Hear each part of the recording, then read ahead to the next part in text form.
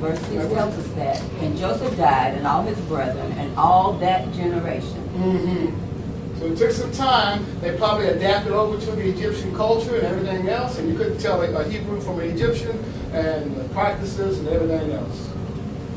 Mhm. So we finish our lesson, verse 25, 26. Joseph took an oath of the children of Israel, saying, Now Joseph is going to show them it's a man dying, but he's still talking in faith. Joseph took an oath of the children of Israel, saying, God will surely visit you, and you shall carry up my bones from where? Here. Don't, I'm there, I'm dying, but do not leave a grunion of me in the land of Egypt. Take everything that's all of my remains and take me with you. Must have been a nice coffin. Egypt must have been an advanced society where we can we can fix a body up where it don't stink and carry it with you. Yeah. Woo! Somebody said that was an advanced society. It was, here- here's proof. They was advanced. They knew how to preserve a body.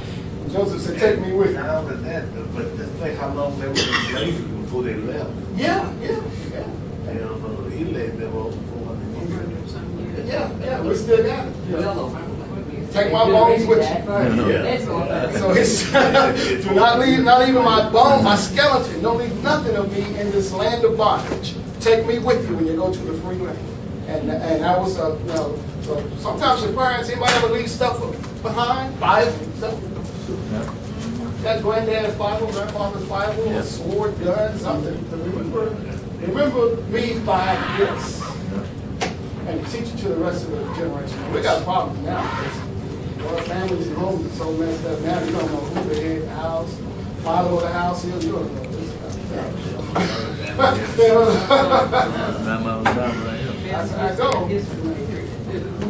God, God purpose, through all of it.